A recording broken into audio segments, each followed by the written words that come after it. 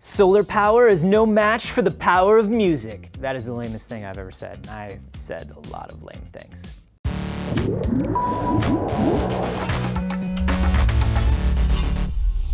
Anthony here, and it turns out that solar cells actually generate more electricity when loud pop music is played for them.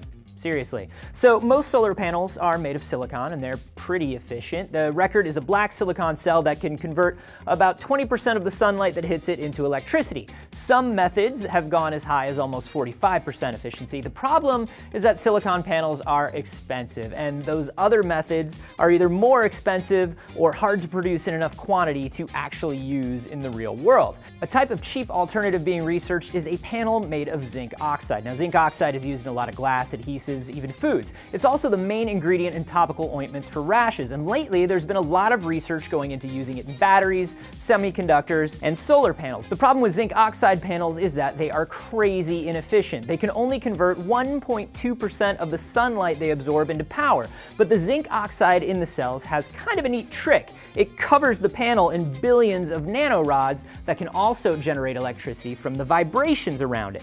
So the research team decided to see just what kind of vibrations made the rods generate the most electricity. And after trying some random frequencies and getting very little response, they moved to music. They tried rock and it kind of worked. They tried classical and got some response. And then they tried some radio pop. And pop music made the cells 40% more efficient. So what does that mean? First, it means that zinc oxide has very uninvolved music tastes. We should really find some nanorods that put some thought into what they listen to because there is a world of music out there besides what's on the radio. It also means that Miley Cyrus and Justin Bieber are some of the greatest sources of renewable energy we have, and they should probably be protected by the government. And I just don't know how to feel about that. But it also means that researchers can isolate what's best about the pop music vibrations and try to create them in other ways. They can even try to create new cells that respond even more to those vibrations or to a wider range of frequencies. I kind of love